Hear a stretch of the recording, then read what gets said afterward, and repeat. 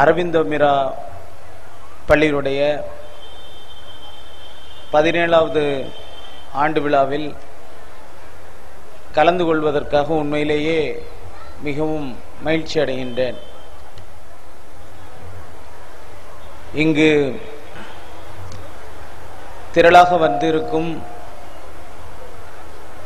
பெற்றோர்கள் மாணவர்கள் ஆசிரியர்கள் முதல்வர்கள் இந்த கல்வி நிறுவனங்களின் தலைவர் டாக்டர் சந்திரன் அவர்கள் இந்த கல்வி நிறுவனங்களை வழிநடத்தி செல்லும் அபிலாஷ் அபிநாத் மற்றும் முதல்வர்கள் எல்லோருக்கும் என்னுடைய வணக்கங்களையும் வாழ்த்துக்களையும் உரித்தாக்குகின்றேன்.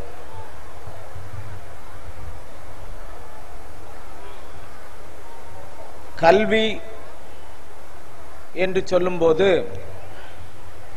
அது வெறும் ஏட்டு சுரைக்காயாக இல்லாமல் பல்வேறு கலாச்சாரம் பண்பாட்டு கூறுகளை உள்ளடக்கியதாக இருக்கின்றது என்பது இங்கு நான் பார்த்து கொண்டிருந்த கலை நிகழ்ச்சிகளை பார்க்கும்போதே அந்த முழுமையான கல்வி இந்த பள்ளியில் அளிக்கப்பட்டு வருகிறது என்பது தெரிந்தது. கிறிஸ்துவுக்கு முன்பு நாற்பத்தி மூன்று வருடங்களுக்கு முன்பாக ஒரு தீவில் ரோமர்கள் இறங்கி பார்த்தபோது அங்குள்ள மக்கள்கள் அனைவரும் உடம்பு முழுவதும் பச்சை குத்தி கொண்டிருந்தார்கள். இந்த உடம்பு முழுவதும் பச்சை கொத்தி கொண்டிருந்த காரணத்தினாலே ரோமர்கள் அவர்களுடைய மொழியிலே பிரித்தன்ஸ் என்று சொன்னார்கள். பிரித்தானியர்கள் என்றால் உடல் முழுவதும் பச்சை கொத்தி கொண்டிருப்பவர்கள் என்ற அர்த்தம். அந்த அளவிலே அவர்கள் பிரித்தன்ஸ் என்று சொன்னவர்கள் பிற்காலத்தில் உலகையே ஆட்சி செய்யக்கூடிய கிரேட் பிரிட்டன் என்ற ஒரு சொல் உருவானது. இந்த பிரிட்டன் என்ற சொல் பச்சை குத்தியவர்கள் என்ற ஒரு பொருளில் உருவான சொல். அந்த கிறிஸ்துவுக்கு முன்பு நாற்பத்தி மூன்று வருடங்களுக்கு கிறிஸ்து பிறப்பதற்கு நாற்பத்தி மூன்று வருடங்களுக்கு முன்பாக கிட்டத்தட்ட இரண்டாயிரத்தி ஐம்பது வருடங்களுக்கு முன்பாக என்றால் கிரேட் பிரிட்டனில் உள்ள மக்கள் எவ்வித மொழியும் இல்லாமல் ஏனென்றால் ஆங்கிலம் அறுநூறு வருடங்கள் சமீபத்தில் தான் உருவான மொழி என்பது நம்ம எல்லோருக்குமே தெரியும். எந்த மொழியும் இல்லாமல் கலாச்சாரமும் இல்லாமல் வாழ்ந்து கொண்டிருந்த அதே காலகட்டத்தில் மதுரையை சுற்றி எண்பெரும் குன்றங்கள் இருந்தன.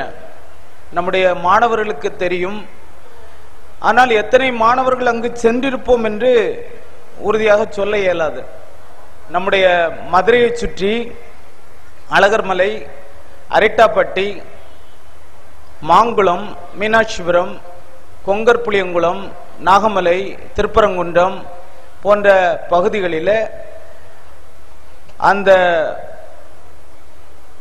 கிரேட் பிரிட்டன் என்று சொல்லக்கூடிய ஆங்கில நாட்டுக்காரர்கள் உடம்பு முழுவதும் பச்சை கொத்தி கொண்டு மொழி இல்லாமல் வேட்டையாடி சமூகமாக வாழ்ந்து கொண்டிருந்த காரணத்தில் அந்த காலகட்டத்தில் மதுரையில் பள்ளிகள் நடத்தப்பட்டன.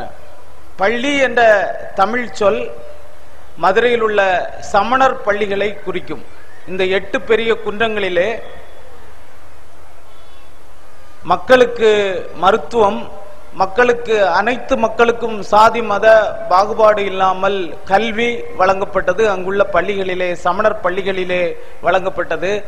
அப்படிப்பட்ட ஒரு பெருமைக்குரிய ஒரு இடம் Madurai.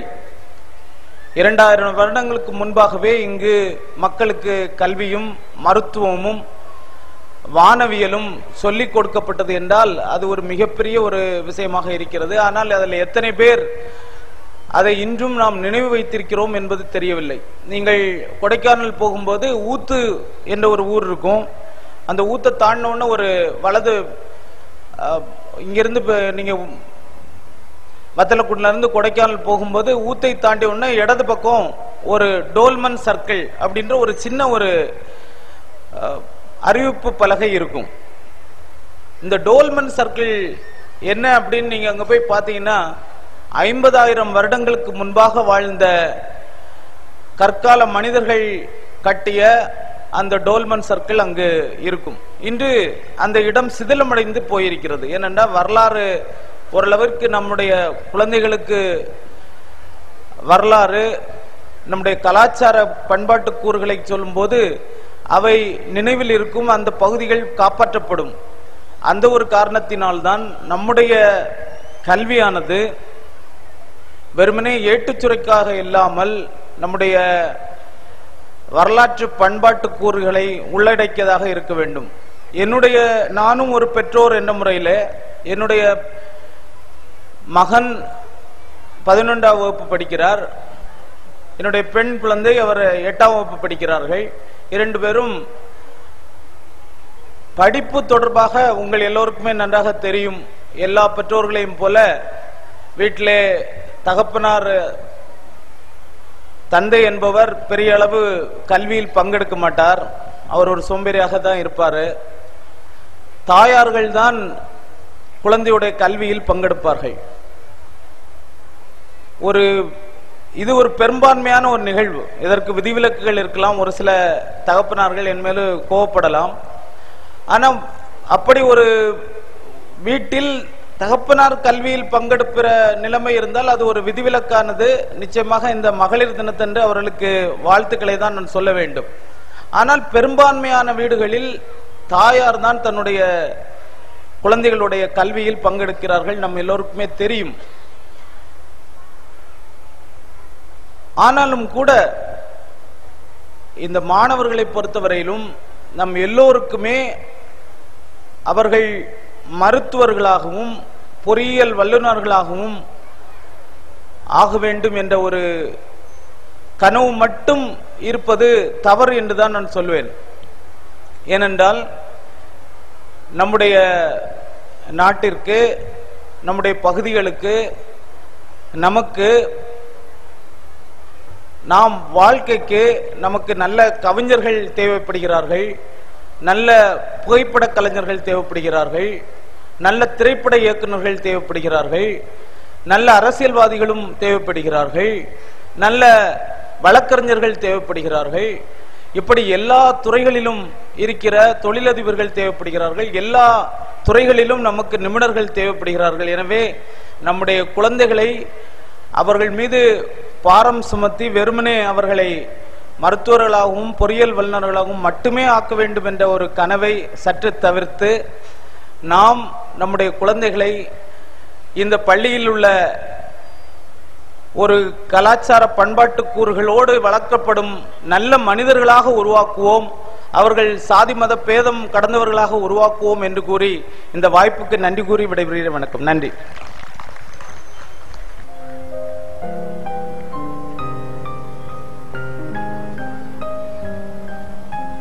Thank you, sir. Thank you for your encouraging words and for the gift of your time. I request our Vice Principal of the Primary School, Ms. Jama, to kindly announce the Best Mother Title Award.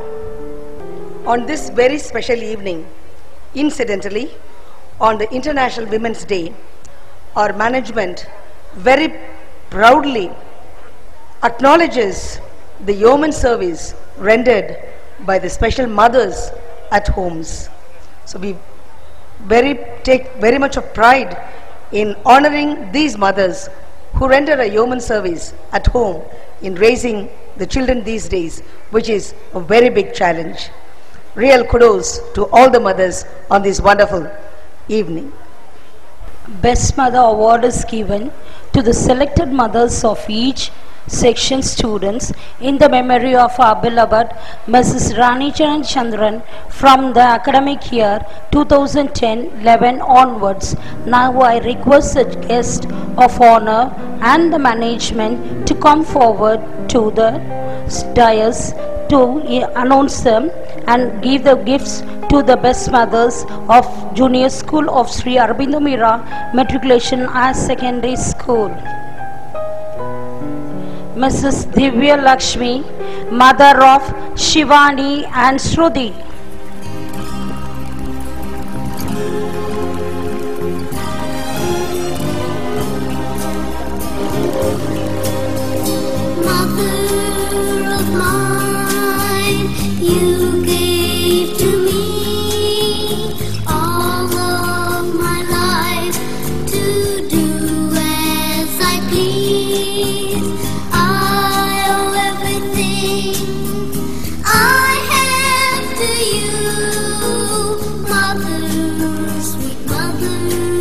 Nagapriya, mother of Rashwanti. Dear audience, please give a big round of applause to the best mothers.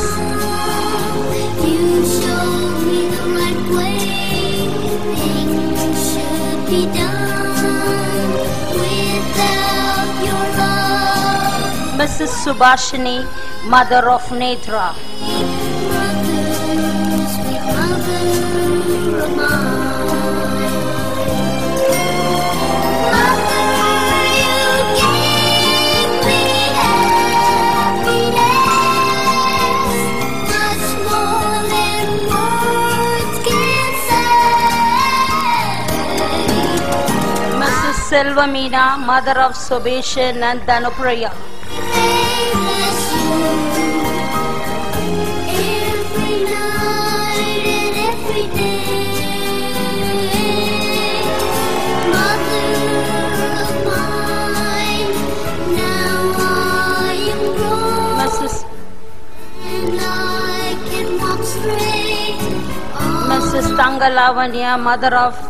Sharmini Gayatri.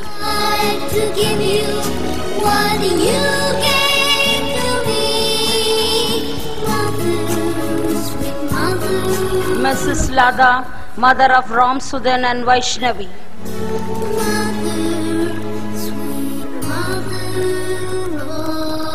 The audience, please give a big round of applause.